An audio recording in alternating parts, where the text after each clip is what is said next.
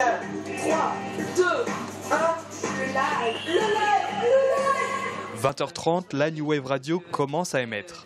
Et de retour sur la New Wave Radio avec euh, Valentin Bonsoir. et euh, Corentin. Laura, Valentin et Corentin présentent l'émission de ce soir en direct et face à un public de curieux. Née il y a trois ans à l'espace jeune de Notre-Dame-de-Mont, la radio a été entièrement créée par les ados avec l'aide de David. L'idée en fait c'est vraiment que les jeunes soient en autonomie sur, euh, sur ce projet, c'est un projet pédagogique avant tout. Ils sont, euh, ils sont sur la, conception en fait du projet de A à Z, c'est-à-dire qu'ils vont de la recherche des partenaires jusqu'à la recherche des groupes, à l'animation de la radio, à la recherche des restaurants pour, euh, ben, pour nourrir tout simplement les artistes. Et chacun a une mission, une fonction différente sur, sur cette radio.